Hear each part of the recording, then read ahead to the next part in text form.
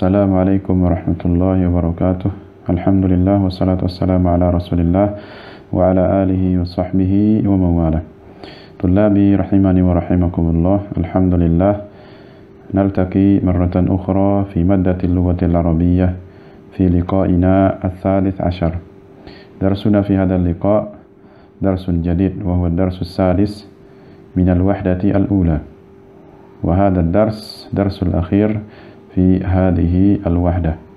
عنوانه من أضرار التدخين من أضرار التدخين.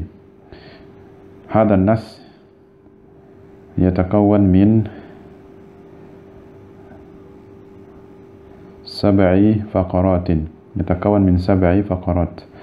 طبعا هذا النص طويل جدا لا يمكن أن نأخذه بكامله. في هذا اللقاء لكن سنأخذ آه، الفقرتين الأوليين فقط. وأما البقية فنأخذها في اللقاءات المقبلة إن شاء الله. طيب أنا أقرأ لكم وأنتم تستمعون إلي جيدا. انتشر التدخين وكثرت نسبة المدخنين في هذا العصر مما ينذر بازدياد المشكلات الصحية بينهم. فقد أظهرت دراسات كثيرة أن التدخين يعرض الصحة لكثير من الأخطار وأنه سبب لكثير من الأمراض مثل أمراض القلب وسرطان الرئة والالتهاب الرئوي كما أنه يسبب الشيخوخة ويزيد نسبة الوفيات. صحيح أن كل شيء بقضاء الله وأن الموت والحياة والمرض والصحة كلها بيد الله ولكن يجب أن نتذكر دائما أن الله سبحانه وتعالى يقول ولا تلقوا بأيديكم إلى التهلكة. ويقول ولا تقتلوا أنفسكم إن الله كان بكم رحيما. والتدخين قتل للنفس وانتحار بطيء كما أنه ضرر بإجماع الأطباء والعقلاء. والرسول صلى الله عليه وسلم يقول لا ضرر ولا ضرار. وقد لوحظ أن نسبة وفاة المدخنين تزداد بازدياد استهلاك السجائر. طيب. لنأخذ المفردات القريبة من هذا النص. انتشر التدخين. انتشر ينتشر. شاع يشيع. بمعنى صار موجودا في كل مكان. انتشر التدخين. التدخين أي أن يشرب الشخص الدخان. يدخله في فمه ثم يخرجه. آه، يمتص هذا الدخان إلى الفم ثم يخرجه من الفم مرة أخرى. هذا هو التدخين. وكثرت نسبة المدخنين. كثر عدد المدخنين في هذا العصر في هذا الزمان مما ينذر بازدياد المشكلات الصحية. هذا العدد كثرة العدد آه، تخبر وتعلم بازدياد المشكلات المشكلات الصحية المشكلات التي تتعلق بالصحة بينهم أي بين الناس في هذا العصر. فقد أظهرت دراسات كثيرة. أظهرت أي أظهر يظهر معناها بين يبين. أي أظهرت دراسات كثيرة. أظهر ما خفيت. من الأخطار. أن التدخين يعرض الصحة لكثير من الأخطار أي التدخين. هذا يعرض يجعل الصحة عرضة وهدفا لكثير من الأخطار. هذه الأخطار الكثيرة الأمراض والأضرار الكثيرة وأنه سبب لكثير من الأمراض. أنه سبب لكثير من الأمراض فالتدخين يسبب أمراضا كثيرة ليس مرضا واحدا بل أمراضا كثيرة مثل أمراض القلب وسرطان الرئة والالتهاب الرئوي. انظر وسرطان الرئة والالتهاب الرئوي هذا آه، المرضان وهذان المرضان يتعلق بماذا؟ ب آه، التنفس. فالرئة هي آلة التي يتنفس بها الإنسان. فالذي يصاب بهذان المرضان سرطان الرئة والالتهاب الرئوي يسبب مدى الصعوبة في التنفس. الصعوبة في التنفس كما أنه يسبب الشيخوخة الشيخوخة هي مرحلة من مراحل العمرية التي مر بها الإنسان في حياته.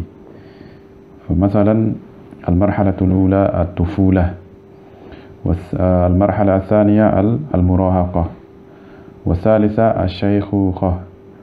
فالذي يكثر من شرب الدخان وتناول الدخان وهو في مرحلة المراهقة مثلا فكأنه في مرحلة الشيخوخة فكأنه في مرحلة في مرحلة الشيخوخة بسبب تناول هذا الدخان. ويزيد نسبة الوفيات يزيد عدد الوفيات. طيب. صحيح أن كل شيء بقضاء الله. صحيح أن كل شيء بقضاء الله. هذا إذا جاء أحد المدخنين ويقول الموت الحياة والموت بيد الله.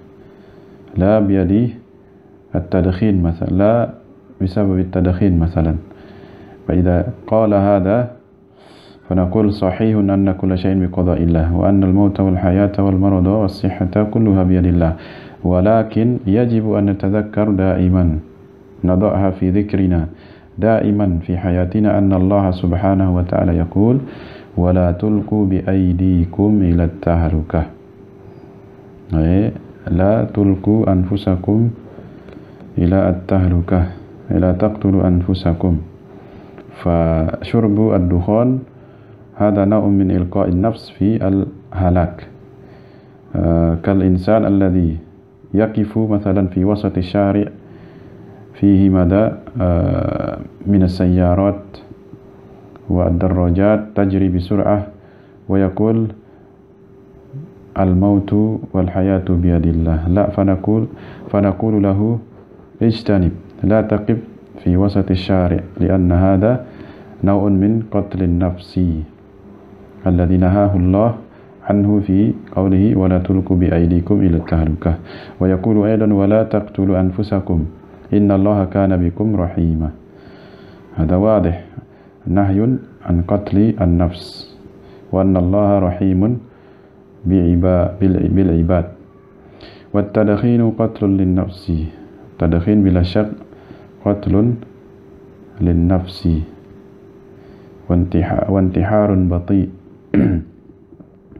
انتحار بطيء معناه قتل لنفس شيئا فشيئا لا يقتل الإنسان آه، قتلا آه، واحدا بل يقتله شيئا فشيئا كما أنه ضرر بإجماع الأطباء والعقلاء. الأطباء والعقلاء يقولون ومجمعون على أن شرب آه، شرب الدخان والتدخين هذا ضرر. والرسول صلى الله عليه وسلم يقول لا ضرر ولا ضرار. لا ضرر أي لا تجعل نفسك في ضرر بفعل الأمور الخطيرة. مثلا آه، بشرب الدخان. ولا ضرار أي لا تجعل شخصا شخصا آخر في ضرر وقد لوحظ أن نسبة وفاة المدخنين تزداد بازدياد استهلاك السجائر. وقد شوهد أن نسبة وفاة المدخنين أي عدد وفاة المدخنين تزداد. بازدياد استهلاك السجائر كلما ازداد استهلاك سجائر استهلاك معناه استعمال أو تناول. سجائر جمع سيجارة. إيه؟ الذي يشرب بها المدخنين المدخنون عند تدخينه. الذي يحركه بالنار ويخرج منه ماذا الدخان فهذا الدخان يدخله إلى فمه ثم يخرجه مرة ثانية. فالازداد أو الإكثار من تناول هذه السجائر ماذا يؤدي إلى زيادة نسبة وفاة المدخنين؟ طيب هذا هو درسنا في هذا اللقاء. لعل هذا الشرح مفهوما وإن شاء الله سنواصل آه هذا النص في اللقاء المقبل. وفقني الله وإياكم. والسلام عليكم ورحمة الله وبركاته.